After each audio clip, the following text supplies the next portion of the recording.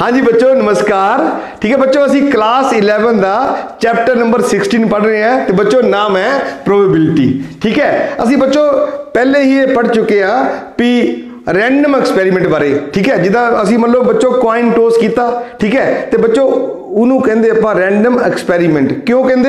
ਕਿਉਂਕਿ ਇਹਦੇ ਵਿੱਚ ਬੱਚੋ ਕੀ ਹੁੰਦਾ ਵੀ ਨੰਬਰ ਆਫ ਪੋਸੀਬਲ ਆਊਟਕਮਸ ਬੱਚੋ, ਇੱਕ ਤੋਂ ਜ਼ਿਆਦਾ ਹੁੰਦੀਆਂ। ਮਤਲਬ ਇਹਦਾ ਮਤਲਬ ਹੋਇਆ ਵੀ ਜਾਂ ਬੱਚੋ ਦੋ ਹੋਣਗੀਆਂ ਤਾਂ ਜਾਂ ਦੋ ਤੋਂ ਜ਼ਿਆਦਾ ਹੋਣਗੀਆਂ। ਠੀਕ ਹੈ ਬੱਚੋ? ਠੀਕ ਹੈ ਬੱਚੋ, ਫਿਰ ਆਪਾਂ ਦੇਖਿਆ ਵੀ ਜੇ ਅਸੀਂ ਕੋਈ ਰੈਂਡਮ ਐਕਸਪੈਰੀਮੈਂਟ ਕਰੀਏ, ਠੀਕ ਹੈ, ਉਹਦੀਆਂ ਜਿੰਨੀਆਂ ਵੀ ਪੋਸੀਬਲ ਆਊਟਕਮਸ ਹੈ, ਜੇ ਬੱਚੋ ਆਪਾਂ ਉਹਨੂੰ ਲਿਖੀਏ ਇੱਕ ਸੈੱਟ 'ਚ, ਹਨਾ, ਤੇ ਉਸ ਸੈੱਟ ਨੂੰ ਬੱਚੋ ਬੋਲਦੇ ਆਪਾਂ ਸੈਂਪਲ ਸਪੇਸ ਠੀਕ ਹੈ। ਫਿਰ ਬੱਚੋ ਅਸੀਂ ਪੜਿਆ ਵੀ ਸੈਂਪਲ ਸਪੇਸ ਦਾ ਕੋਈ ਵੀ ਸਬਸੈਟ ਬੱਚੋ ਇਵੈਂਟ ਹੈ। ਕਲੀਅਰ ਤੇ ਉਸ ਤੋਂ ਬਾਅਦ ਬੱਚੋ ਆਪਾਂ ਦੇਖਿਆ ਵੀ ਇਵੈਂਟ ਦੀਆਂ ਆਪਾਂ ਬੱਚੋ 4 ਟਾਈਪਸ ਪੜੀਆਂ ਥੀਆਂ ਮੇਨਲੀ ਠੀਕ ਹੈ ਬੱਚੋ ਪਹਿਲੇ ਪੜਿਆ ਬੱਚੋ ਆਪਾਂ ਇੰਪੋਸੀਬਲ ਇਵੈਂਟ 5 ਸਾਨੂੰ ਬੱਚੋ ਪਤਾ ਵੀ empty set is the subset of every set okay clear ਤੇ देयरफॉर 5 ਠੀਕ clear 5 is a subset of S ਸਾਨੂੰ ਪਤਾ ਵੀ ਬੱਚੋ S ਦਾ ਕੋਈ ਵੀ ਸਬਸੈਟ ਉਹ ਬੱਚੋ ਹੁੰਦੀ event therefore 5 is an event okay clear ਤੇ ਜਿਹੜਾ ਬੱਚੋ ਇਹ 5 ਹੈ ਇਹਨੂੰ ਬੋਲਦੇ ਆਪਾਂ ਇੰਪੋਸੀਬਲ ਇਵੈਂਟ ਫਿਰ ਬੱਚੋ ਅਸੀਂ ਪੜਿਆ श्योर इवेंट हूँ देखो सू पता भी every set is a subset of itself बिल्कुल सही। हूँ therefore S is a subset of S मतलब sample space is a subset of sample space तो therefore sample space is itself an event okay and this event is known as sure event. Okay ਤੇ ਬੱਚੋ ਫਿਰ ਆਪਾਂ ਪੜਿਆ simple event okay ਲਈ ਠੀਕ ਹੈ ਤੇ ਬੱਚੋ ਜਾਂ ਐਲੀਮੈਂਟਰੀ ਇਵੈਂਟਸ ਠੀਕ ਹੈ ਸਾਨੂੰ ਪਤਾ ਦੇਖੋ ਜਿੱਦਾਂ ਅਸੀਂ ਮੱਲੋ ਸਪੋਜ਼ ਕਰੋ ਬੱਚੋ ਅਸੀਂ ਕੋਇਨ ਟੋਸ ਕੀਤਾ ਤੇ ਬੱਚੋ ਉਹਦੇ ਚ s ਆਇਆ ਆਪਣੇ ਕੋਲੇ sample space h, t. Okay clear ਹੁਣ ਬੱਚੋ ਉਹ event clear which contains only one sample point. ਬੱਚੋ ਉਹ event The event which contains only one sample point is known as elementary events. ਦੇਖੋ ਇਸ ਕੇਸ ਬੱਚੋ ਦੋ elementary events ਆ ਗਈਆਂ ਠੀਕ ਹੈ ਤੇ ਇਹ ਠੀਕ ਹੈ ਤੇ ਬੱਚੋ ਫਿਰ ਪੜਿਆ ਆਪਾਂ ਬੱਚੋ ਕੰਪਾਊਂਡ ਇਵੈਂਟਸ ਕੰਪਾਊਂਡ ਇਵੈਂਟਸ ਬੱਚੋ ਇਵੈਂਟਸ ਹੈ ਕੀ ਬੋਲੋ ਜੀ which contains two or more sample points ਠੀਕ ਹੈ ਤੇ ਬੱਚੋ ਕਿਹੜੀਆਂ four events impossible event 5 sure event ਬੱਚੋ S ਠੀਕ ਹੈ ਠੀਕ ਹੈ ਸੈਂਪਲ ਸਪੇਸ ਖੁਦ। ਬੱਚੋ ਐਲੀਮੈਂਟਰੀ ਇਵੈਂਟਸ ਠੀਕ ਹੈ ਜਾਂ ਸਿੰਪਲ ਇਵੈਂਟਸ ਤਾਂ ਬੱਚੋ, ਉਸ ਤੋਂ ਪੜਿਆ ਆਪਾਂ ਕੰਪਾਊਂਡ ਇਵੈਂਟਸ ਠੀਕ ਹੈ। ਹੁਣ ਬੱਚੋ, ਅੱਜ ਅਸੀਂ ਪੜਾਂਗੇ ਵੀ ਤੁਸੀਂ ਇਵੈਂਟਸ ਨੂੰ, ਠੀਕ ਹੈ ਇਵੈਂਟਸ ਦਾ ਅਲਜਬਰਾ ਪੜਾਂਗੇ ਬੱਚੋ ਅਲਜਬਰਾ ਆਫ ਇਵੈਂਟਸ ਹਾਂਜੀ ਬੱਚੋ, ਠੀਕ ਹੈ ਅਲਜਬਰਾ ਆਫ ਇਵੈਂਟਸ ਦੇਖੋ ਬੱਚੋ, ਅਸੀਂ ਸੈੱਟ ਚੈਪਟਰ ਚ ਪੜਿਆ ਸੀਗਾ ਵੀ ਦੋ ਸੈੱਟ ਨੂੰ ਅਸੀਂ ਕਿੱਦਾਂ ਬੱਚੋ ਕੰਬਾਈਨ ਕਰਦੇ, ਠੀਕ ਹੈ। ਦੇਖੋ ਆਈਦਰ ਬਾਈ ਯੂਨੀਅਨ, ਜੈਸ, ਜਾਂ ਇੰਟਰਸੈਕਸ਼ਨ, ਬੜ ਪੜਿਆ ਬੱਚੋ, ਫਿਰ ਆਪਾਂ ਪੜਿਆ difference of sets, two sets, ਠੀਕ ਹੈ? ਤੇ ਬੱਚੋ ਪੜਿਆ ਸੀ ਆਪਾਂ ਉੱਥੇ ਕੀ ਬੋਲੋ ਜੀ? Complement of a set, okay ਲਈ ਠੀਕ ਹੈ? ਹੁਣ ਬੱਚੋ ਦੇਖੋ ਇੱਥੇ, ਕਿੱਦਾਂ ਪੜਾਂਗੇ ਆਪਾਂ? ਸਭ ਤੋਂ ਪਹਿਲੇ ਬੱਚੋ,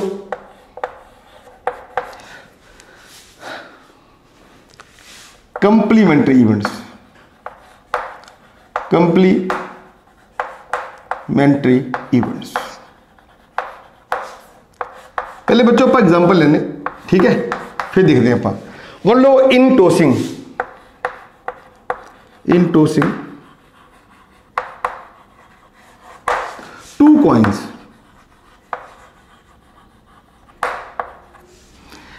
ठीक है बच्चों? ठीक है?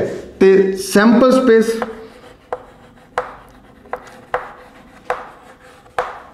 sample space S is equal to बच्चों कितना आना? ਹਾਂਜੀ H H H T T H ਤੇ ਟੀ ਟੀ ਤੁਹਾਨੂੰ ਬੱਚੋ ਪਤਾ ਕਿ sample space is a set which contains all the possible outcomes of a random experiment ਤੇ ਬੱਚੋ ਇਹ ਆਪਣਾ ਰੈਂਡਮ ਐਕਸਪੈਰੀਮੈਂਟ ਹੈ ਟੋਸਿੰਗ ਆਫ ਟੂ coins ਠੀਕ ਹੈ ਤੇ ਬੱਚੋ ਟੋਸਿੰਗ ਆਫ ਟੂ ਕੋਇਨਸ ਇਹ ਬੱਚੋ 4 ਜਿਹੜੀਆਂ ਇਹ ਹੈ ਨਾ ਚਾਰੋਂ ਬੱਚੋ ਇਹ ਪੋਸੀਬਲ ਆਊਟਕਮਸ ਹੈ ਪੋਸੀਬਲ ਆਊਟਕਮਸ ਠੀਕ ਹੈ ਤੇ ਬੱਚੋ ਹੁਣ ਦੇਖੋ light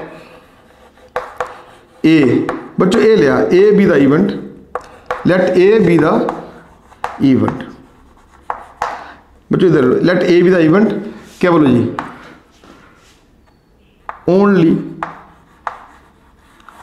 one tail one tail ਠੀਕ ਹੈ ਬੱਚੋ ਤੇ देयरफॉर ਬੱਚੋ ਹੁਣ ਦੱਸੋ ਮੈਨੂੰ ਵੀ ਇਹ ਕਿੰਨਾ ਆਏਗਾ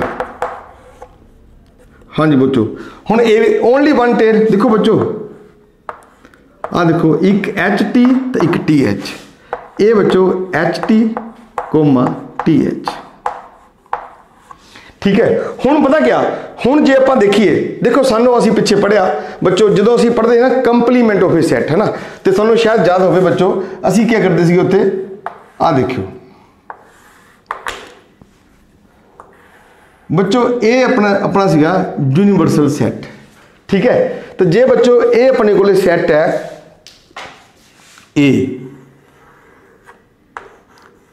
ਠੀਕ ਹੈ ਬੱਚੋ A ਸਬਸੈਟ ਹੈ ਕਿਹਦਾ ਬੋਲੋ ਜੀ A subset of U U what is U?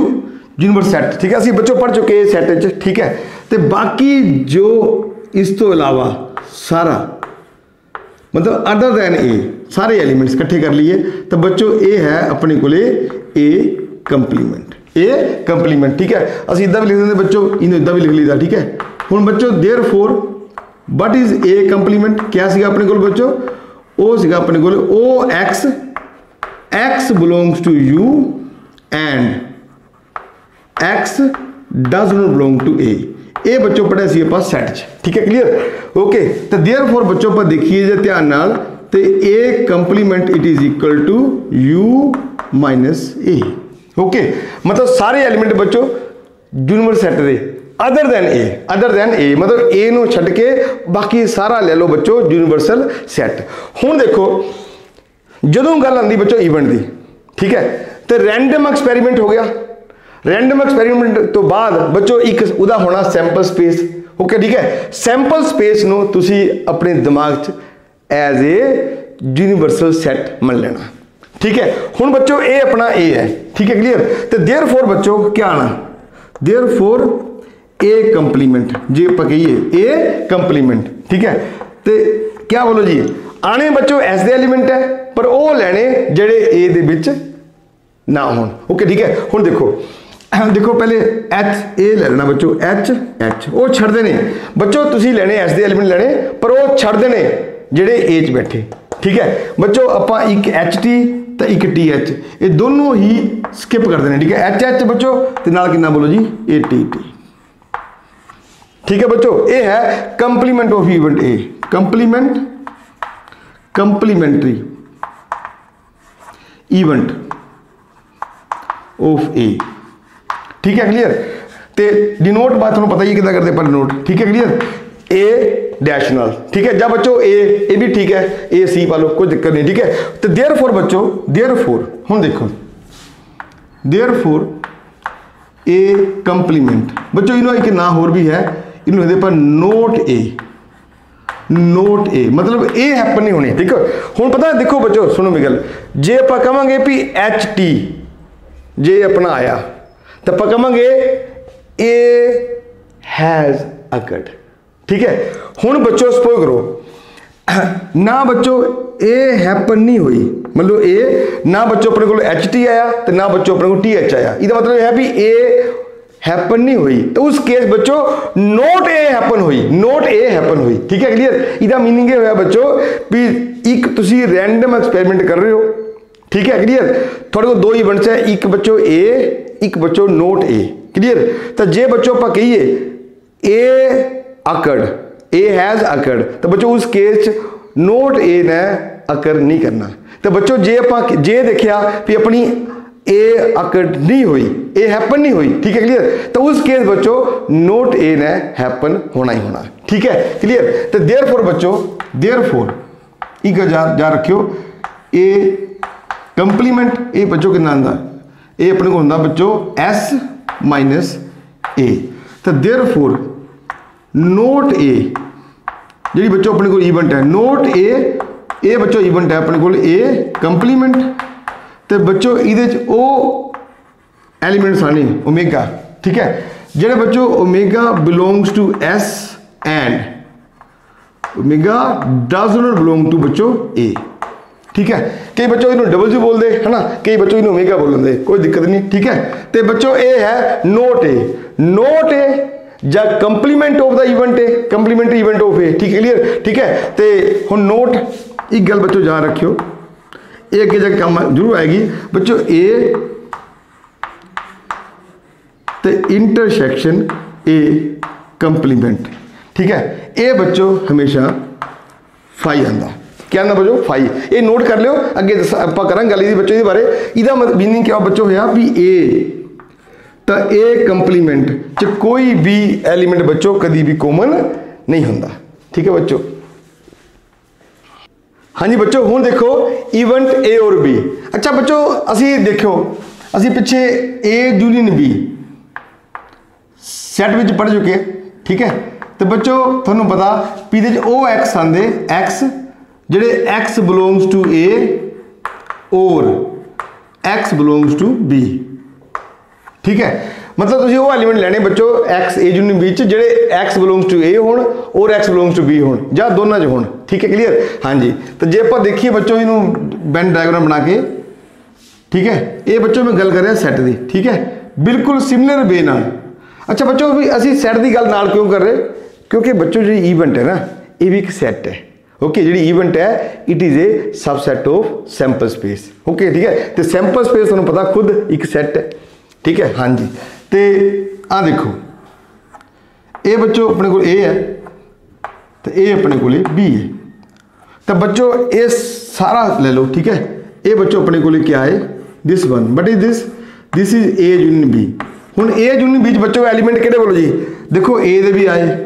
B ਦੇ ਵੀ। ਓਕੇ ਤੇ ਬੱਚੋ, ਜਿਹੜੀ ਇੰਟਰਸੈਕਸ਼ਨ ਉਹ ਵੀ ਨਾਲ ਆ ਗਈ। ਠੀਕ ਹੈ? ਮਤਲਬ ਜਾਂ ਤਾਂ ਬੱਚੋ ਐਲੀਮੈਂਟ A ਚ ਹੋਵੇ ਜਾਂ B ਚ ਹੋਵੇ ਜਾਂ ਦੋਨਾਂ ਚ ਹੋਵੇ, ਤਾਂ ਬੱਚੋ ਸਾਰੇ ਐਲੀਮੈਂਟ A ਯੂਨੀਅਨ B ਚ ਆ ਜਾਂਦੇ। ਠੀਕ ਹੈ? ਬੱਚੋ ਇਨ ਦਾ ਸਿਮਿਲਰ ਮੈਨਰ ਆਪਾਂ ਇਵੈਂਟ A ਔਰ B ਦੀ ਗੱਲ ਕਰਨੀ ਠੀਕ ਹੈ? ਦੇਖੋ ਧਿਆਨ ਨਾਲ। ਲੈਟ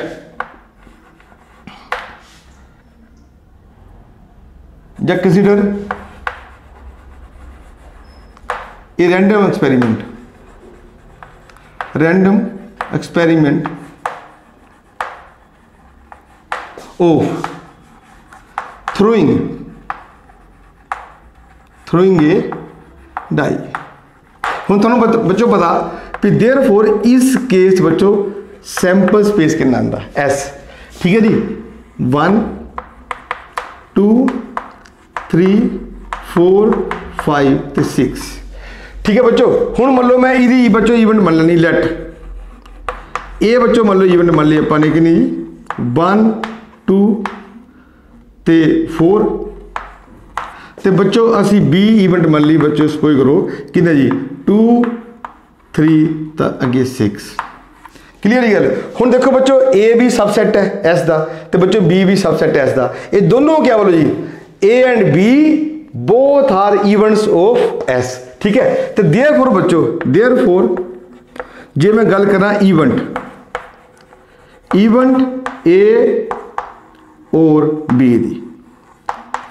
ਤਾਂ ਬੱਚੋ ਇਹ ਕੀ ਆਣਾ ਜੇ ਆਪਾਂ ਇਹਨੂੰ ਸੈੱਟ ਦੇ ਰੂਪ ਚ ਲਿਖੀਏ, ਤਾਂ ਬੱਚੋ it becomes A union B ਤਾਂ ਬੱਚੋ, A ਯੂਨੀਅਨ B, ਹੁਣ ਪਹਿਲੇ ਲਿਖੋ ਬੱਚੋ, ਇਹ ਦੇਖੋ A ਦੇ ਐਲੀਮੈਂਟ 1 2 4 ਬੱਚੋ, ਹੁਣ ਲਿਖੋ B ਦੇ ਐਲੀਮੈਂਟ ਹੁਣ 2 ਅਸੀਂ ਪਹਿਲੇ ਲਿਖ ਚੁੱਕੇ। ਰਿਪੀਟ ਨਹੀਂ ਕਰਨਾ। ਤੁਹਾਨੂੰ ਪਤਾ ਸੈੱਟ ਵਿੱਚ ਬੱਚੋ, ਕਦੀ ਵੀ ਰੈਪੀਟੀਸ਼ਨ ਅਲਾਉਡ ਨਹੀਂ ਹੁੰਦੀ। ਠੀਕ ਹੈ? ਅੱਗੇ ਬੱਚੋ ਆ ਗਿਆ 3 ਤੇ ਇਹ 6 ਹੁਣ ਬੱਚੋ ਇਹ ਹੈ ਆਪਣੇ ਕੋਲ A union B A union B ਠੀਕ ਹੈ ਇਹ ਬੱਚੋ ਆਪਣੀ ਇਵੈਂਟ ਹੈ A ਔਰ B ਹੁਣ ਨੋਟ ਰੱਖਿਓ ਬੱਚੋ ਯਾਦ ਨੋਟ ਕਰਨ ਵਾਲੀ ਗੱਲ ਇਹ ਹੈ ਕੀ ਬੋਲੋ ਜੀ ਇਵੈਂਟ A ਔਰ B ਤਾਂ ਜੇ ਬੱਚੋ ਅਸੀਂ ਲਿਖੀਏ ਇਹਨੂੰ ਸੈੱਟ ਦੇ ਰੂਪ ਚ ਤਾਂ ਬੱਚੋ ਇਹ ਆਣਾ A ਯੂਨੀਅਨ B ਤਾਂ देयरफॉर ਹੁਣ ਦੇਖੋ ਬੱਚੋ ਇਵੈਂਟ A ਔਰ B. ਚ ਕਿਹੜੇ ਬੱਚੋ ਐਲੀਮੈਂਟ ਆਣੇ ਆ ਦੇਖੋ ਹੁਣ ਦੇਖਿਓ A ਯੂਨੀਅਨ B. ਹੁਣ ਬੱਚੋ ਬੋਲੋ ਇਹਦੇ ਚ ਉਹ ਹੈ ਓਮੇਗਾ ਠੀਕ ਹੈ ਓਮੇਗਾ ਬਿਲੋਂਗਸ ਟੂ A ਔਰ ਓਮੇਗਾ ਬਿਲੋਂਗਸ ਟੂ B ਠੀਕ ਹੈ ਡਬਲ ਯੂ ਕਹ ਲੋ ਬੱਚੋ ਜਾਂ ਓਮੇਗਾ ਕਹ ਲੋ ਗੱਲ ਇੱਕੋ ਹੀ ਠੀਕ ਹੈ ਓਕੇ A ਯੂਨੀਅਨ B ਬੱਚੋ ਕਿੰਨਾ ਜੀ omega omega belongs to A ਔਰ ਓਮੇਗਾ ਬਿਲੋਂਗਸ ਟੂ B ਠੀਕ ਹੈ ਬੱਚੋ ਇਹ ਆਪਣੀ ਆ ਗਈ ਬੱਚੋ ਇਵੈਂਟ A ਔਰ B. ਇਵੈਂਟ A ਔਰ B ਚ ਬੱਚੋ ਕਿਹੜੇ ਕਿਹੜੇ ਐਲੀਮੈਂਟਸ ਆਣੇ ਜਿਹੜੇ ਬੱਚੋ ਜਾਂ ਤਾਂ A ਚ ਹੋਣ ਜਾਂ B ਚ ਜਾਂ ਦੋਨਾਂ ਚ ਹੋਣ। ਠੀਕ ਕਲੀਅਰ ਹਾਂਜੀ ਬੱਚੋ, ਹੁਣ ਆਪਾਂ ਪੜਾਂਗੇ the event A and B ਅੱਛਾ ਬੱਚੋ, ਅਸੀਂ ਇੰਟਰਸੈਕਸ਼ਨ ਪੜ੍ਹੀ ਦੋ ਸੈਟਸ ਦੀ। ਹਾਂਜੀ। ਹੁਣ ਦੇਖੋ, ਅਸੀਂ ਦੇ ਦੇਖੀਏ ਬੱਚੋ ਇਹਨੂੰ ਬੈਨ ਡਾਇਗੋਨਲ ਨਾਲ। ਠੀਕ ਹੈ? ਧਿਆਨ ਨਾਲ। ਆ ਦੇਖੋ ਬੱਚੋ। ਇਹ ਬੱਚੋ ਮੰਨ ਲਓ ਆਪਣੇ ਕੋਲ ਸੈੱਟ A ਹੈ। ਇਹ ਸੈੱਟ B ਹੈ ਠੀਕ ਹੈ? ਓਕੇ ਬੱਚੋ, ਤੁਸੀਂ ਸੋਚ ਰਹੇ ਹੋਣੇ ਵੀ ਬਾਰ-ਬਾਰ ਸਾਨੂੰ ਸੈੱਟ ਵਿੱਚ ਕਿਉਂ ਲਿਜਾ ਰਹੇ ਹੋ? ਬੱਚੋ, ਇੱਕ ਗੱਲ ਖਿਆਲ ਰੱਖੋ ਐਕਚੁਅਲੀ ਇਵੈਂਟ ਇੱਕ ਸੈੱਟ ਹੈ। ਓਕੇ ਤੇ ਕਿਉਂਕਿ ਜਿਹੜੀ ਇਵੈਂਟ ਹੈ ਨਾ, ਸਾਨੂੰ ਪਤਾ ਵੀ any subset of the sample space is known as event ਇਸ ਕਰਕੇ ਬੱਚੋ, ਜਦ ਖੁਦ ਇਵੈਂਟ ਹੀ ਇੱਕ ਸੈੱਟ ਹੈ, ਤੇ ਸਾਰਾ ਕੰਮ ਹੀ ਬੱਚੋ ਸੈੱਟ ਨਾਲ ਹੋਣਾ। ਠੀਕ ਹੈ? ਹੁਣ ਦੇਖੋ, ਇਹ ਬੱਚੋ ਆਪਣੇ ਕੋਲ A ਸੈੱਟ ਹੈ, ਮੰਨ ਲਓ ਇਹ ਸੈੱਟ B ਹੈ ਸਾਨੂੰ ਪਤਾ ਬੱਚੋ ਵੀ ਇਹ ਚੀਜ਼ ਪੋਰਸ਼ਨ ਆਪਣਾ ਕਾਮਨ ਹੈ। ਠੀਕ ਹੈ ਕਲੀਅਰ ਤਾਂ ਜੇ ਦੇਖੀਏ ਤਾਂ ਬ- ਬੜੀ ਦਿਸ। ਬੱਚੋ, ਇਹ ਆਪਣੇ ਕੋਲੇ A ਇੰਟਰਸੈਕਸ਼ਨ B ਐਕਚੁਅਲੀ ਅਸੀਂ ਪੜਿਆ ਵੀ A ਇੰਟਰਸੈਕਸ਼ਨ B ਚ, ਦੇਖੀਏ ਆਪਾਂ। ਤੇ ਬੱਚੋ, ਉਹ ਐਲੀਮੈਂਟਸ ਆਂਦੇ x, such that x belongs to A and x belongs to B ਬੱਚੋ, ਇੱਕ ਗੱਲ ਦਾ ਖਿਆਲ ਰੱਖਿਓ। ਯੂਨੀਅਨ ਜਿਹੜੀ ਆਪਾਂ ਪੜ੍ਹਦੇ ਯੂਨੀਅਨ ਹਨਾ? ਬੱਚੋ ਇਹਦਾ ਲਿੰਕ ਹੈ ਔਰ ਨਾਲ ਤੇ ਜਿਹੜਾ ਬੱਚੋ ਇੰਟਰਸੈਕਸ਼ਨ ਹੈ ਇਹਦਾ ਲਿੰਕ ਬੱਚੋ ਐਂਡ ਨਾਲ। ਠੀਕ ਹੈ? ਤੇ ਇੱਥੇ ਬੱਚੋ ਇਸ ਪੋਰਸ਼ਨ ਚ ਉਹੀ ਐਲੀਮੈਂਟ ਆਣੇ ਜਿਹੜੇ ਬੱਚੋ ਏ ਚ ਵੀ ਹੋਣੇ ਐਸ ਵੈਲ ਐਸ ਬੀ ਚ ਵੀ ਹੋਣੇ। ਹੁਣ ਦੇਖੋ ਬੱਚੋ ਬਿਲਕੁਲ ਇਨ ਕੀ ਬਲਾ ਸੇਮ ਤੇ ਬੇ ਨਾਲ। ਠੀਕ ਹੈ? ਜੇ ਆਪਾਂ ਦੇਖੀਏ ਕੀ ਬੋਲੋ ਜੀ? ਈਵੈਂਟ ਮੰਨ ਲਓ ਅਹ, ਪਹਿਲਾਂ ਆਪਾਂ ਲੈਣੇ ਬੱਚੋ example consider a random consider an consider a random experiment random experiment of throwing a die throwing a die ठीक है? तो देयर फॉर बच्चों, सानू पता भी what is the sample space one two three हाँ जी बच्चों ਕੰਸੀਡਰ ਠੀਕ ਹੈ ਸੈਂਪਲ ਸਪੇਸ ਆ ਗਿਆ 1 2 3 4 5 ਤੇ ਬੱਚੋ ਇਹ 6 ਠੀਕ ਹੈ ਹੁਣ ਲੋ ਲੈਟ A ਬੱਚੋ ਆਪਾਂ ਇਵੈਂਟ ਲਈ A ਲਿਆ ਬੱਚੋ 1 2 4 ਠੀਕ ਹੈ ਬੱਚੋ B ਲਿਆ ਆਪਾਂ ਨੇ ਕਿੰਨਾ ਜੀ ਇਹ ਲੈ ਲਿਆ ਬੱਚੋ ਆਪਾਂ ਸਪੋਜ਼ ਕਰੋ ਵੀ ਇਵੈਂਟ ਲੈ ਲਈ ਬੱਚੋ B ਠੀਕ ਹੈ ਜੀ 2 ਤੇ 5 ਤੇ 6 ਹੁਣ ਦੇਖੋ ਪਹਿਲੀ ਗੱਲ ਬੱਚੋ ਵੀ A ਵੀ S ਦਾ ਸਬਸੈਟ ਹੈ ਠੀਕ ਹੈ ਤੇ B ਵੀ ਬੱਚੋ S ਦਾ ਕਿਆ ਹੈ ਸਬਸੈਟ ਓਕੇ देयरफॉर A ਤੇ B ਬੋਥ ਆਰ ਇਵੈਂਟਸ ਤੁਹਾਨੂੰ ਪਤਾ ਵੀ ਇਹ ਸੈਂਪਲ ਸਪੇਸ ਹੈ ਤੇ ਬੱਚੋ ਸੈਂਪਲ ਸਪੇਸ ਦਾ ਕੋਈ ਵੀ ਸਬਸੈਟ ਉਹ ਬੱਚੋ ਕਿਆ ਹੁੰਦੀ ਇਵੈਂਟਸ ਇਹ ਦੋਨੋਂ ਬੱਚੋ ਇਵੈਂਟਸ ਹੈ ਓਕੇ ਠੀਕ ਹੈ ਕਲੀਅਰ ਤੇ देयरफॉर ਹੁਣ ਦੇਖੋ देयरफॉर ਜੇ ਬੱਚੋ ਮੈਂ ਇਵੈਂਟ A ਐਂਡ B ਦੀ ਗੱਲ ਕਰਾਂ A ਐਂਡ B ਦੀ ਗੱਲ ਕਰਾਂ ਠੀਕ ਹੈ ਕਲੀਅਰ ਤਾਂ ਬੱਚੋ A ਕਿੰਨਾ ਨਾ it is equal to A intersection B ਠੀਕ ਹੈ ਤੇ ਬੱਚੋ ਕਾਮਨ ਕੀ ਆਇਆ ਦੇਖੋ ਹੁਣ ਕਾਮਨ ਕੀ ਬੋਲੋ ਜੀ ਕਾਮਨ ਬੱਚੋ ਆਪਣੇ ਕੋਲ 2 ਹੈ A 2 ਇਹਦਾ ਬੱਚੋ मीनिंग ਕੀ ਹੋਇਆ मीनिंग ਇਹ ਹੋਇਆ ਕਿ ਜਦੋਂ ਤੁਸੀਂ ਡਾਈਸ ਥਰੋ ਕਰੋਗੇ ਤਾਂ ਜੇ ਡਾਈਸ ਦੇ ਉੱਪਰ ਅਪਰ ਫੇਸ ਬੱਚੋ 2 ਆਇਆ क्या है 2 ਤੇ ਉਸ ਕੇਸ ਬੱਚੋ ਇਵੈਂਟ A ਤੇ B ਦੋਨੋਂ ਹੀ ਇਕੱਠੀਆਂ ਹੈਪਨ ਹੋ ਗਈਆਂ ਠੀਕ ਹੈ ਬੱਚੋ ਕਲੀਅਰ ਹਾਂਜੀ ਹੁਣ ਦੇਖੋ ਬੱਚੋ ਇਹ ਇਵੈਂਟ A ਔਰ B ਹੁਣ ਦੇਖੀਏ ਜੇ ਆਪਾਂ ਦੇਖੀਏ ਇਹਦਾ ਮਤਲਬ मीनिंग ਕੀ ਹੋਇਆ ਬੱਚੋ ਨੋਟ ਕਰਨ ਵਾਲੀ ਗੱਲ ਇਹ ਹੈ ਵੀ event event A and B ठीक है it is equal to A intersection B ठीक है तो देयरफॉर बच्चों A इंटरसेक्शन B बोलो बच्चों क्या आएगा ਠੀਕ ਹੈ? ਉਹ ਆਊਟਕਮਸ ਜਿਹੜੀਆਂ ਬੱਚੋ ਆਊਟਕਮਸ ਏਜ ਵੀ ਹੋਣਗੀਆਂ ਐਂਡ ਹਾਂਜੀ ਬੋਲੋ ਜੀ ਆਊਟਕਮਸ ਉਹ ਬੱਚੋ ਬੀਚ ਵੀ ਹੋਣ। ਠੀਕ ਹੈ ਕਲੀਅਰ ਤੇ ਇਹ ਬੱਚੋ ਆਪਣੀ ਸੀਗੀ ਕੀ ਬੋਲੋ ਜੀ? Event A and B A and B ਮਤਲਬ ਦੋਨੋਂ ਇਕੱਠੀਆਂ ਹੈਪਨ ਹੋਣ। ਠੀਕ ਹੈ ਬੱਚੋ? ਹਾਂਜੀ ਬੱਚੋ, ਹੁਣ ਪੜਾਂਗੇ ਆਪਾਂ the event A but not B ਹੁਣ ਦੇਖੋ, ਤੁਹਾਨੂੰ ਦੇਖੋ ਬੱਚੋ, ਅਸੀਂ ਫਿਰ ਉਹੀ ਗੱਲ ਹੈ ਨਾ ਅਸੀਂ ਸੈੱਟ ਚ ਪੜਿਆ ਥਾ ਡਿਫਰੈਂਸ ਆਫ ਟੂ ਸੈਟਸ ਠੀਕ ਹੈ? ਆ ਦੇਖੋ। ਬੱਚੋ ਇਹ ਆਪਣੇ ਕੋਲੇ ਮੰਨ ਲਓ A ਹੈ। ਤਾਂ ਇਹ ਬੱਚੋ ਆਪਣੇ ਕੋਲੇ B ਹੈ। A ਤੇ B ਠੀਕ ਹੈ? ਹੁਣ ਬੱਚੋ ਦੇਖੋ, ਤੁਸੀਂ ਇਹ ਧਿਆਨ ਦਿਓ।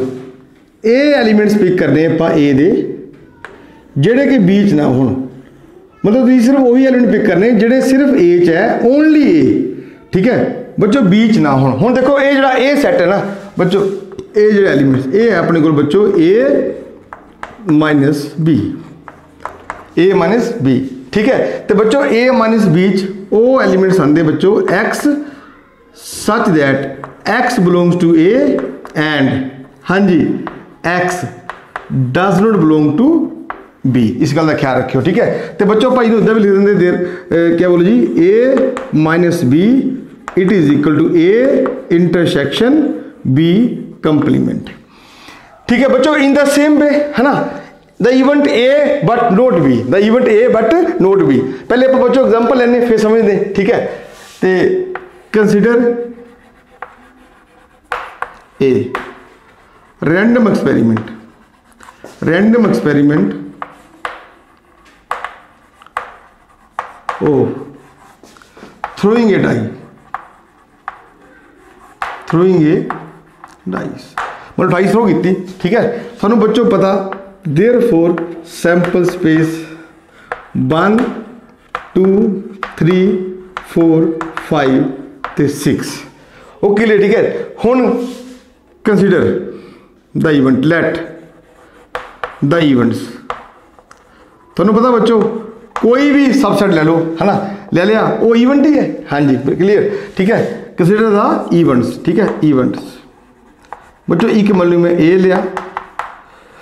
ਠੀਕ ਹੈ? ਅਸੀਂ ਬੱਚੋ ਇਹ ਲੈ ਲਏ ਆਪਾਂ ਮੰਨ ਲਓ ਇੱਕ ਲੈ ਲਿਆ 1 2 ਤੇ 4 ਤੇ ਬੱਚੋ, B ਆਪਾਂ ਲਿਆ ਸਪੋਜ਼ ਕਰੋ, ਠੀਕ ਹੈ ਕਲੀਅਰ 4 5 ਤੇ 6 ਠੀਕ ਹੈ ਹੁਣ ਇਹ ਦੇਖੋ ਬੱਚੋ ਦੋਨੋਂ ਕਿਆ ਹੈ ਦੋਨੋਂ ਹੀ ਇਸ S ਦੇ ਸਬਸੈਟਸ ਹੈ ਤੇ ਸਾਨੂੰ ਪਤਾ ਬੱਚੋ ਸੈਂਪਲ ਸਪੇਸ ਦਾ ਕੋਈ ਵੀ ਸਬਸੈਟ ਕਿਆ ਹੁੰਦਾ ਇਵੈਂਟ ਓਕੇ ਕਲੀਅਰ ਤੇ देयरफॉर ਬੱਚੋ देयरफॉर A ਤੇ B ਇਵੈਂਟਸ ਹੈ देयरफॉर ਬੱਚੋ ਦਾ ਇਵੈਂਟ देयरफॉर ਇਵੈਂਟ ਕਿਹੜੀ ਬੋਲੋ ਜੀ A ਜ- ਠੀਕ ਹੈ but not B but not B, ਠੀਕ ਹੈ? ਕਲੀਅਰ ਇਹ ਬੱਚੋ ਕਿੰਨਾ ਆਣਾ ਇਹ ਆਪਣੇ ਕੋ ਆਏਗਾ, ਦੇਖੋ। ਇਟ ਇਜ਼ ਇਕੁਅਲ ਟੂ ਹੁਣ ਤੁਸੀਂ ਕੀ ਕਰਨਾ? ਤੁਸੀਂ ਬੱਚੋ A ਦੇ ਉਹ ਐਲੀਮੈਂਟਸ ਲੈਣੇ, ਠੀਕ ਹੈ? ਆਊਟਕਮਸ ਲੈਣੀਆਂ, A ਦੀਆਂ, ਜਿਹੜੀਆਂ B ਚ ਨਾ ਹੋਣ। ਓਕੇ ਠੀਕ ਹੈ? ਹੁਣ ਦੇਖੋ ਬੱਚੋ 1 ਆਪਾਂ ਲਵਾਂਗੇ, ਠੀਕ ਹੈ? ਆਪਾਂ 2 ਵੀ ਲਵਾਂਗੇ, ਠੀਕ ਹੈ? ਪਰ ਬੱਚੋ ਕਿਉਂਕਿ 4 बीच ਵੀ ਹੈ ਉਹ ਸਕਿਪ ਕਰਦੇ ਨਹੀਂ ਠੀਕ ਹੈ ਤੇ ਬੱਚੋ ਇਹ ਆਪਣੇ ਕੋਲ ਆ ਗਿਆ 1 2 ਠੀਕ ਹੈ ਤੇ देयरफॉर ਹੁਣ ਬੱਚੋ ਦੇਖੋ ਧਿਆਨ ਨਾਲ ਜੇ ਮੈਂ a b ਦੇਖਾਂ ਠੀਕ ਹੈ a b ਮਤਲਬ ਆਪਾਂ a ਦੇ ਉਹ ਐਲੀਮੈਂਟ ਪਿਕ ਕਰੋ ਜਿਹੜੇ ਸਿਰਫ a ਚ ਹੋਣ ਪਰ b ਚ ਨਾ ਹੋਣ ਓਕੇ ਠੀਕ ਹੈ ਤੇ ਬੱਚੋ ਕਿੰਨੇ ਕਿਹੜਾ ਬੁਲਾਉਣਾ ਜੀ ਉਹ ਵੀ 1 2 ਹੀ ਆਏਗਾ ਕਿੰਨਾ ਆਏਗਾ 1 2 ਠੀਕ ਹੈ ਤੇ देयरफॉर ਬੱਚੋ देयरफॉर ਹੁਣ ਨੋਟ ਕਰਨ ਵਾਲੀ ਗੱਲ ਇਹ ਹੈ ਆਪਣੇ ਕੋਲੇ ਕੀ ਬੋਲੋ ਜੀ ਇਵੈਂਟ ਜਾ ਰੱਖਿਓ ਇਵੈਂਟ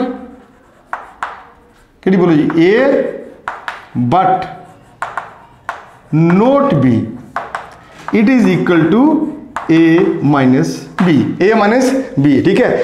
ਮਤਲਬ ਤੁਸੀਂ event A but not B ਚ ਬੱਚੋ, ਉਹੀ ਆਊਟਕਮਸ ਤੁਸੀਂ A ਦੇ ਪਿਕ ਕਰਨੀਆਂ, ਜਿਹੜੀਆਂ ਬੱਚੋ B ਚ ਨਾ ਹੋਣ। ਓਕੇ ਠੀਕ ਹੈ ਕਲੀਅਰ ਤੇ ਇਹ ਬੱਚੋ ਆਪਣੀ ਸੀਗੀ event A but not B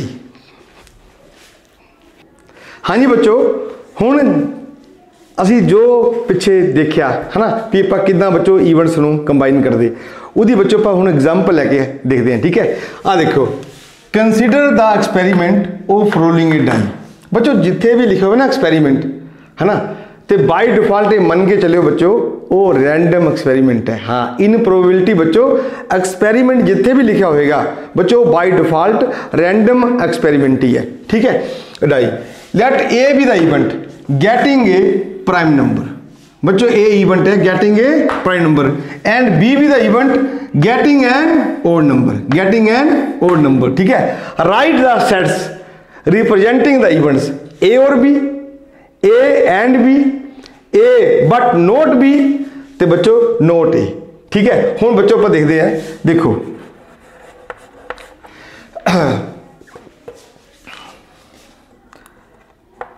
in rolling a die in rolling a die ਥੋੜਾ ਬੱਚੋ ਪਹਿਲਾ ਕੰਮ ਕੀ ਹੈ ਪਹਿਲਾ ਕੰਮ ਹੈ ਵੀ ਤੁਸੀਂ ਇਸ ਰੈਂਡਮ ਐਕਸਪੈਰੀਮੈਂਟ ਦਾ ਸੈਂਪਲ ਸਪੇਸ ਲਿਖਣਾ ਠੀਕ ਹੈ ਕਲੀਅਰ ਤੇ देयरफॉर ਬੱਚੋ ਕਿੰਨਾ ਆ sample space sample space s is equal to ਹਾਂਜੀ ਬੋਲੋ ਬੱਚੋ ਬੋਲੋ 1 2 3 4 5 ਤੇ ਇਹ 6 ਆ ਗਿਆ ਆਪਣੇ ਕੋਲੇ। ਹੁਣ ਦੇਖੋ ਬੱਚੋ ਇਹ ਇਵੈਂਟ ਇਹ ਕੀ ਹੈ? A ਬੱਚੋ ਕੀ ਹੈ? ਗੈਟਿੰਗ a ਪ੍ਰਾਈਮ ਨੰਬਰ ਹੁਣ ਸਾਨੂੰ ਪਤਾ p 2 3 and 5 these are prime numbers ਤਾਂ ਬੱਚੋ 2 3 5 ਇਹ ਬੱਚੋ ਆਪਣੀ ਹੋ ਗਈ ਇਵੈਂਟ A, ਠੀਕ ਹੈ? ਤੇ ਬੱਚੋ B, ਹਾਂਜੀ। क्या बोलो जी? गेटिंग एंड ओड नंबर तो बच्चों ओड नंबर देखो one three and five one three and five one three and five ये बच्चों ओड नंबर आ गए। ठीक है? हूँ देखो ये सैंपल स्पेस है। देखो ए दे बी हूँ देखो but is event A getting a prime number but is B getting an odd number ठीक है? देखो गेटिंग ए प्राइम नंबर ਜਾਂ ਗੈਟਿੰਗ ਐਨ ਓਡ ਨੰਬਰ ਬੱਚੋ ਦੋਨੋਂ ਆਏ ਤਾਂ ਸੈਟ ਸੀ ਹੈ ਨਾ ਕਿਉਂ ਭਲਾ ਕਿਉਂਕਿ ਸਾਨੂੰ ਪਤਾ ਠੀਕ ਹੈ ਬੱਚੋ ਇਹ ਦੋਨੋਂ A ਤੇ B ਦੋਨੋਂ क्या है बच्चों इस सैंपल स्पेस दे सबसेट्स है क्या है सबसेट्स तो इस करके बच्चों ये दोनों इवेंट्स है क्या है इवेंट्स ठीक है हुन बच्चों नंबर 1 आ देखो इवेंट A और B ਬੱਚੋ, ਤੁਹਾਨੂੰ ਆਪਾਂ ਹੁਣੀ ਦੱਸ ਕੇ ਹਟੇ, A ਔਰ B ਔਰ ਦਾ ਲਿੰਕ ਹੈ ਬੱਚੋ ਯੂਨੀਅਨ ਹਾਂਜੀ। ਇਹ ਆ ਗਿਆ ਬੱਚੋ, A ਯੂਨੀਅਨ B ਹੁਣ ਇਹ ਬੱਚੋ ਲਿਖਣਾ ਹੋਵੇ, ਤੇ ਪਹਿਲੇ ਬੱਚੋ ਲਿਖੋ A ਦੇ ਐਲੀਮੈਂਟਸ 2 3 5 ਹੁਣ ਲਿਖੋ ਬੱਚੋ B ਦੇ, ਪਰ ਜਿਹੜੇ ਪਹਿਲੇ ਲਿਖ ਚੁੱਕੇ ਉਹ ਛੱਡ ਦਿਓ। ਇੱਕ ਬੱਚੋ ਕਿੰਨਾ ਆ ਗਿਆ? ਇਹ 1 ਆ ਗਿਆ। ਦਿਸ ਇਜ਼ ਬੋਲੋ, ਕਿਹਦਾ ਜੀ? A ਇਵੈਂਟ A ਔਰ B ਆ ਗਿਆ, ਠੀਕ ਹੈ? ਨੰਬਰ 2 ਅੱਗੇ ਬੱਚੋ ਬੋਲੋ ਜੀ, ਹਾਂਜੀ। ਤੇ ਇਵੈਂਟ ਅਗੇ A and B event A and B ਤੁਹਾਨੂੰ ਬੱਚੋ ਦੱਸ ਕੇ ਹਟੇ। ਵੀ ਯੂਨੀਅਨ ਦਾ ਲਿੰਕ ਔਰ ਨਾਲ ਹੈ ਤੇ ਇੰਟਰਸੈਕਸ਼ਨ ਦਾ ਲਿੰਕ ਬੱਚੋ ਐਂਡ ਨਾਲ ਹੈ, ਠੀਕ ਹੈ? ਤੇ ਇਹ ਆ ਗਿਆ ਬੱਚੋ ਆਪਣੇ ਕੋਲ A ਇੰਟਰਸੈਕਸ਼ਨ B ਤੇ ਬੱਚੋ A ਇੰਟਰਸੈਕਸ਼ਨ B ਚ ਕਿਹਾ ਹੁੰਦਾ? ਜਿਹੜੇ A ਤੇ B ਚ ਕਾਮਨ ਐਲੀਮੈਂਟਸ ਹੈ ਠੀਕ ਹੈ ਤੇ ਬੱਚੋ A ਤੇ B ਚ ਕਾਮਨ ਕੌਣ ਹੈ ਬੋਲੋ ਜੀ ਕਾਮਨ ਆਪਣੇ ਕੋਲ 3 ਐਂਡ 5 3 ਐਂਡ 5 ਅੱਗੇ ਬੱਚੋ number 3 next A but not B ਹਾਂਜੀ event A but not B ਤੁਹਾਨੂੰ ਪਤਾ ਬੱਚੋ ਇਹ ਕਿੰਨਾ ਆਂਦਾ it is equal to A B ਤੁਸੀਂ ਐਲੀਮੈਂਟ ਬੱਚੋ A ਦੇ ਪਿਕ ਕਰਨੇ। ਪਰ A ਦੇ ਵਿੱਚੋਂ ਬੱਚੋ ਉਹ ਐਲੀਮੈਂਟ ਤੁਸੀਂ ਛੱਡ ਦੇਣੇ, ਜਿਹੜੇ ਵਿੱਚ ਵੀ ਹੋਣ। ਠੀਕ ਹੈ? ਹੁਣ ਦੇਖੋ ਬੱਚੋ, ਤੁਸੀਂ 2 ਲੈਣਾ, ਬਿਲਕੁਲ ਲੈਣਾ, ਕਿਉਂਕਿ 2 A ਚ ਤਾਂ ਹੈ, ਪਰ B ਚ ਨਹੀਂ ਹੈ। 3 ਲੋਗੇ ਨਹੀਂ ਲੈਣਾ। ਕਿਉਂ? ਕਿਉਂਕਿ A 3 A ਚ ਵੀ ਹੈ ਤੇ ਬੱਚੋ B ਚ ਵੀ ਹੈ। ਓਕੇ ਕਲੀਅਰ ਤੇ ਨਾ ਬੱਚੋ 5 ਆਣਾ ਤੇ ਇਹ ਸਿਰਫ 2 ਆਇਆ ਆਪਣੇ ਕੋਲ। ਕਿੰਨਾ ਜੀ? 2 ਠੀਕ ਹੈ? ਮਤਲਬ A B ਦਾ ਮਤਲਬ ਵੀ ਤੁਸੀਂ ਐਲੀਮੈਂਟ A ਦੇ ਲੈਣੇ, ਪਰ ਬੱਚੋ ਉਹ ਛੱਡਦੇ ਨੇ, ਜਿਹੜੇ B ਨਾਲ ਕਾਮਨ ਨੇ। ਠੀਕ ਹੈ? ਅੱਗੇ ਬੱਚੋ ਨੰਬਰ 4 ਹਾਂਜੀ ਨੋਟ A ਨੋਟ A ਜੇ ਬੱਚੋ, ਦੇਖੋ ਇਵੈਂਟ ਨੋਟ A ਜੇ ਆਪਾਂ ਦੇਖੀਏ ਤਾਂ ਬੱਚੋ ਇਹ ਲਿਖਦੇ ਆਪਾਂ ਨੂੰ A ਕੰਪਲੀਮੈਂਟ ਠੀਕ ਹੈ ਕਲੀਅਰ ਤੇ ਹੁਣ ਬੱਚੋ ਕੀ ਕਰਨਾ? ਤੁਸੀਂ ਦੇਖੋ ਨੋਟ A, ਤੁਹਾਨੂੰ ਮੈਂ ਪਹਿਲੇ ਬੋਲਿਆ ਵੀ ਜਦੋਂ ਅਸੀਂ ਸੈੱਟ ਦੇ ਕੇਸ 'ਚ ਲੈਂਦੇ ਥੇ ਕਿਸੇ ਬੱਚੋ ਸੈੱਟ ਦਾ ਕੰਪਲੀਮੈਂਟ ਤਾਂ ਬੱਚੋ ਕੀ ਹੁੰਦਾ ਥਾ? ਤੁਸੀਂ ਉਹ ਲੈਣੇ ਐਲੀਮੈਂਟ ਯੂਨੀਵਰਸਲ ਸੈੱਟ ਦੇ, ਜਿਹੜੇ A 'ਚ ਨਾ ਹੋਣ। ਓਕੇ ਠੀਕ ਹੈ? ਹੁਣ ਦੇਖੋ ਬੱਚੋ, ਇੱਧਰ ਕੀ ਆਏ ਹੁਣ ਦੇਖੋ ਬੋਲੋ ਤੁਸੀਂ ਇਸ ਕੇਸ 'ਚ S ਨੂੰ ਮੰਨਣਾ ਬੱਚੋ ਐਜ਼ ਅ ਯੂਨੀਵਰਸਲ ਸੈੱਟ ਠੀਕ ਹੈ ਤੇ ਦੇਖੋ A 'ਚ ਕਿਹੜੇ ਐਲੀਮੈਂਟ ਹੈ ਬੋਲੋ ਜੀ A 'ਚ ਬੱਚੋ 2 3 5 ਹੈ ਇਹ ਛੱਡ ਦਿਓ ਬਾਕੀ ਸਭ ਲੈ ਲਓ ਕਿੰਨੇ ਬੋਲੋ ਜੀ 1 ਓਕੇ ਕਲੀਅਰ ਅੱਗੇ ਬੋਲੋ ਜੀ 2 ਨਹੀਂ ਲੈਣਾ 3 ਨਹੀਂ ਲੈਣਾ 4 ਤੇ 6 ਓਕੇ ਤੇ देयरफॉर ਬੱਚੋ ਸਹੀ ਮੈਨੇ ਇਹ ਜਿਹੜਾ a ਕੰਪਲੀਮੈਂਟ ਹੈ ਇਹ ਬੱਚੋ s a ਕਿੰਨਾ ਜੀ 1 4 ਤੇ 6 ਓਕੇ ਬੱਚੋ ਬੱਚੋ, ਮੈਂ ਆਸ ਕਰਦਾ ਵੀ ਤੁਹਾਨੂੰ ਬੱਚੋ ਇਹ ਮੇਰਾ ਲੈਕਚਰ ਸਮਝ ਆਇਆ ਹੋਣਾ। Thank you so much have a nice day